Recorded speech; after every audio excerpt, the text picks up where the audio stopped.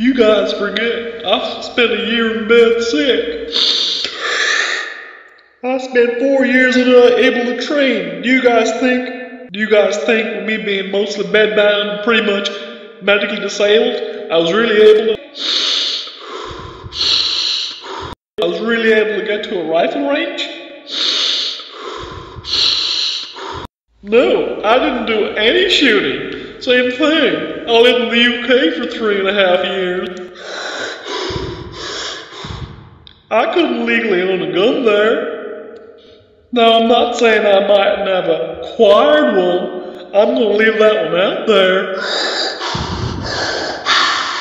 I'm going to leave that one alone. I couldn't legally own a gun.